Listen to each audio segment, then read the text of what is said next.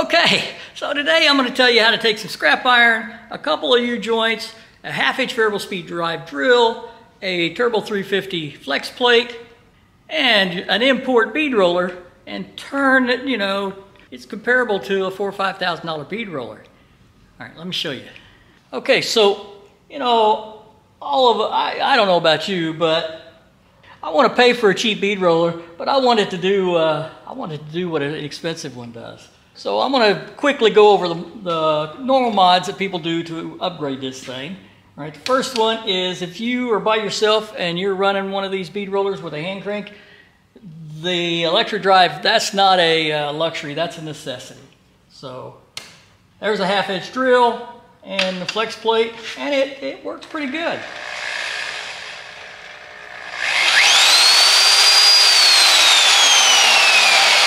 Right, it's pretty, it's pretty reliable. I've used it quite a bit and uh, it works pretty well. The next thing is reinforcement. When this thing comes out of the comes out of the box, it's pretty pretty wiggly. So reinforcement for the length of the bar, top and bottom. I've got the bottom reinforcement on the other side. I'll show you in a minute. And then something to try to resist the upward movement.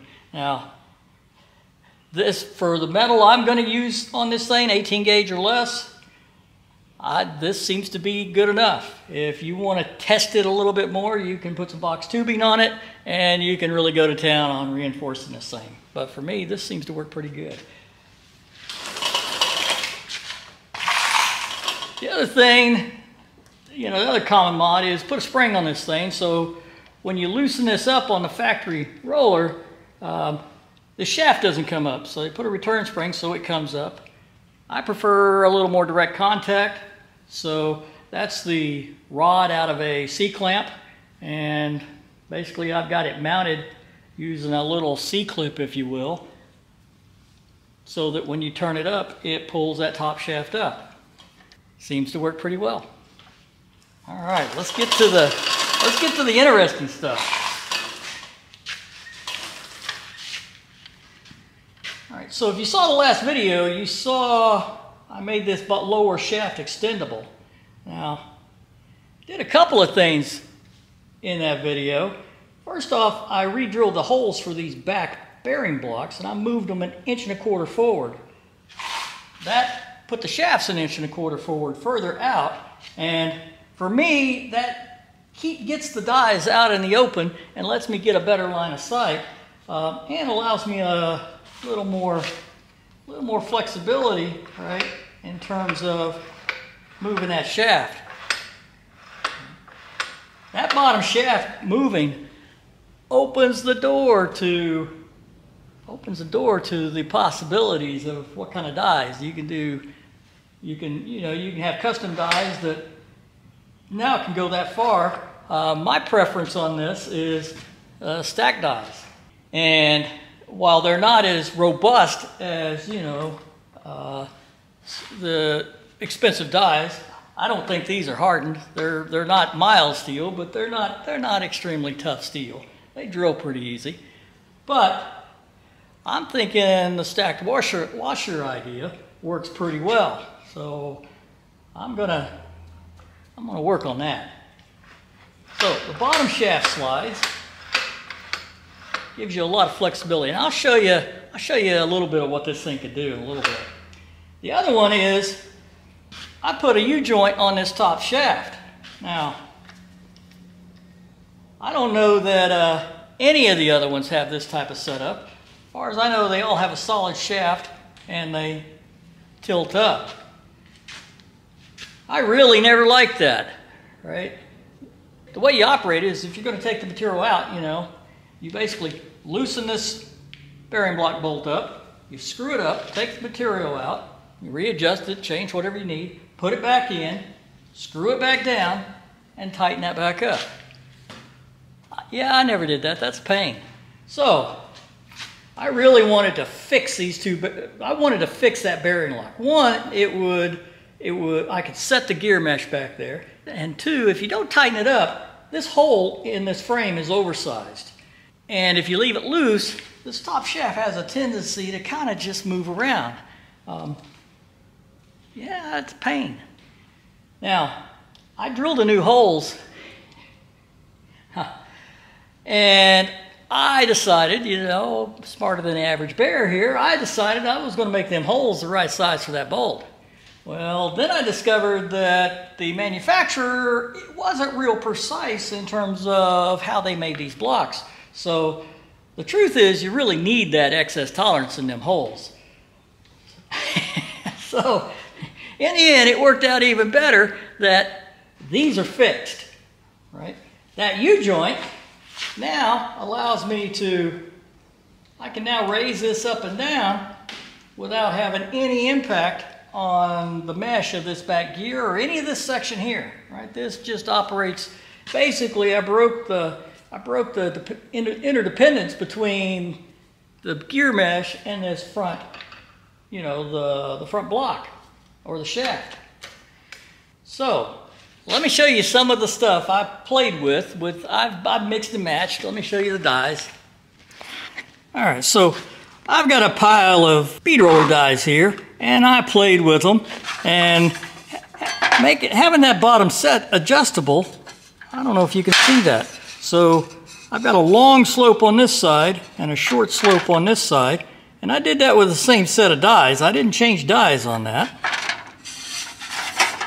You can kind of see playing with other dies, kind of made a and again, that one's hard to see, but there's just a little bit of a joggle right there and a bead. This one, right, there's a, a bead there. This is the low point. You can kind of see it on this side.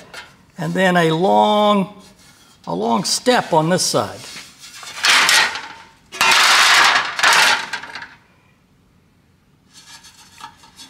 So same kind of thing there. This one, this one, this one isn't really special if you look at it from this end, right? That looks like the bed floor of a pickup, but there's actually a slight joggle right there. So if you view it from that, so if you view it from this side, right, you could make custom beads. And just some more stuff. That is not special. How about this one? All right, so let's look at, that's the low spot, a long upslope.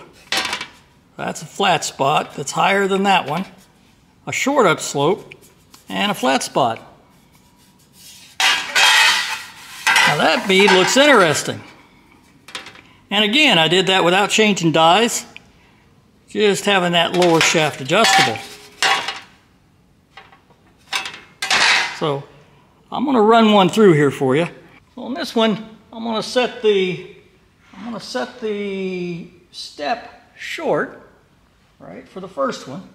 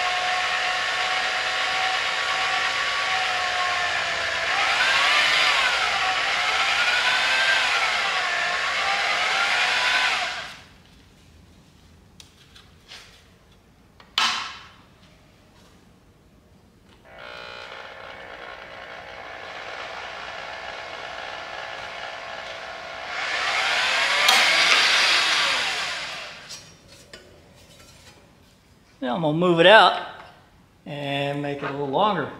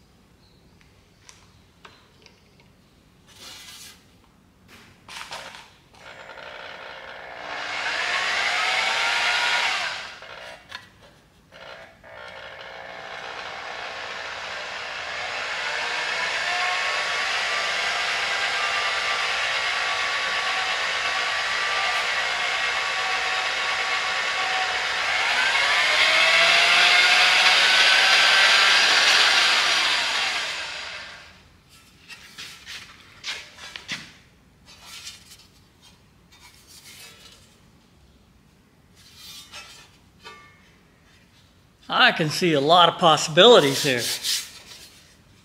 Now, why do I think this is uh, as good as a $4,000, $5,000 bead roller? Well, like I was telling you, that JS, that JS, uh, I think it's custom, right? It's sold by Trick Tools. It has a 24 inch throat. Now remember I moved this out an inch and a quarter, so this actually has 18, has 19 and a quarter. And the reality of it is, given that the shafts were split, if you want a 24, if you want a 24 inch, basically you can stick them out and you know weld on a little bit more. But I I thought the 20 inch one, 19 and a quarter inches was enough for me. Now let's measure.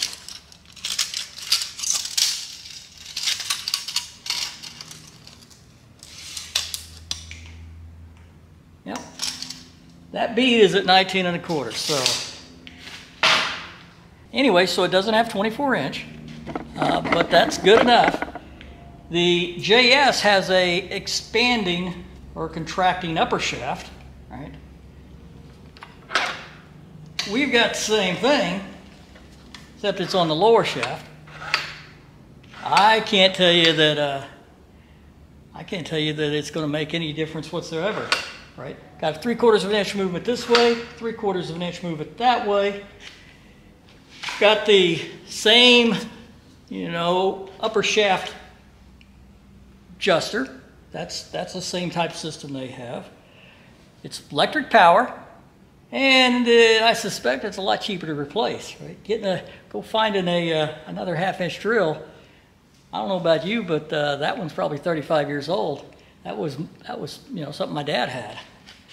Um, and that's pretty much it. If you buy the deluxe one, apparently it can, it can tilt 35 degrees to help you do something. I'm not sure what that is. I'm not an expert bead roller, but uh, as near as I can tell, this has all of the design features that the JS bead roller has.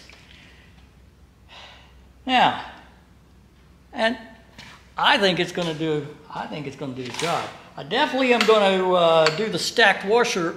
You know, start building a washer set so that I can stack up washers and build. You know, if I got custom profile profile dies that I want, um, I think that would be handy. And I'm to put a table on it. Right, put a table on it, and I, I think a fence would be handy. But in my mind, those are pretty straightforward. The trick was designing the movable shaft and while it may not seem necessary, I really like these. I like that rear gear to be fixed. Right? There's no movement in it. This thing, this upper shaft, there's no slop in it. It, it, it is where it's at.